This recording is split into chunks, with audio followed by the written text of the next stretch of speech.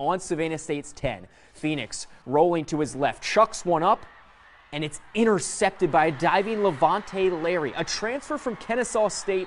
Welcome to the Marsh, my man.